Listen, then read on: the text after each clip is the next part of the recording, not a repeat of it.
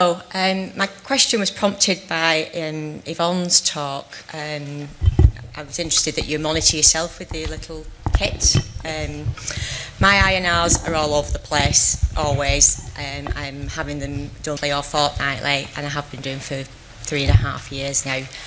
I was told that with antiphospholipid syndrome, you can't have the finger prick test, it has to be venous bloods. Yes, I've been told that too. so I'm getting jabbed in the arm every week or every fortnight. um, I go two or three times a year to my local anticoagulation clinic. Um, I've been going there regularly for 14 years, so the specialist nurse knows me very well and she trusts me. Maybe not always wisely, but she does to to, I, I'm sensible with monitoring. Um, and I, uh, I go with my CoaguChek XS machine, and she does a venous sample, and I do a pinprick test uh, while I'm there. And then the next day, after she sent it to the lab, and gets the results and rings me, and it's always point two difference, hardly anything at all.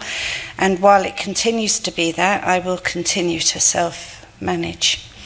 If our Walford clinic don't do venous tests. Right, are they doing the pinprick test as well? yeah, because so they've I all, have to go to the hospital converted. path lab.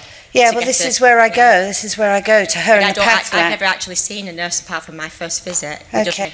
I mean, this this is part of the problem of the management yeah. of anticoagulation, and I may be speaking out of turn, but what this lady in front here was saying about the access to rehabilitation is the mm. same problems access to support yeah.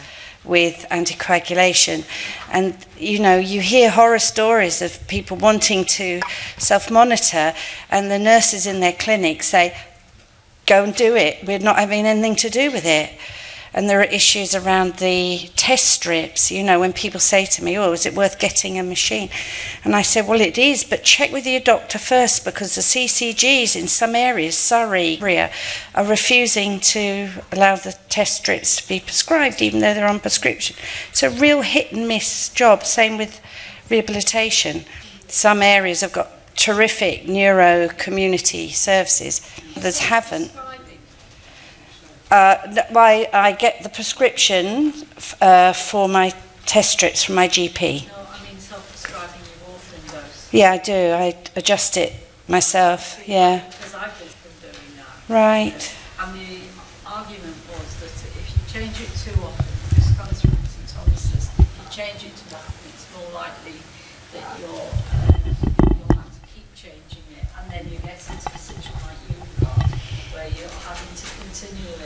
continually change your dose. I've never changed it myself. No, but the, the others are, because they're, they're actually, you've got the other problem where it's not the patient that's changing it, it's the actual... See, I'm, I'm lucky because I've got a medical training.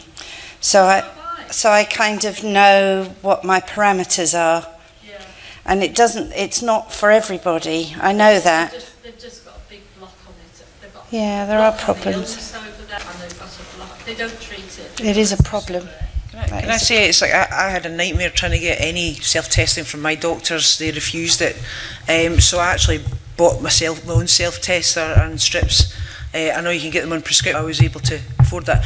And when I go for a venous test, it's like I actually take one on my, my machine just before that, so I know whether they're within range of each other.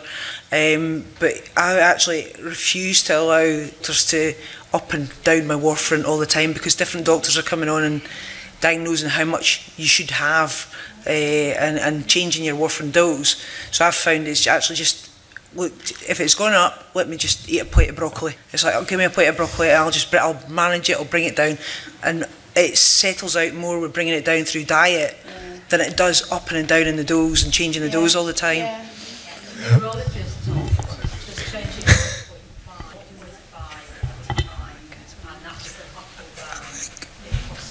Could we get just, uh, somebody else? Yeah, just um, following on from that. So I've also started self-testing at home um, and also had a, well, actually quite easy to get that done uh, through, but uh, I'm prescribed 12 strips a year I can get through the NHS, which is a bit silly, but anyway, it ends up expensive.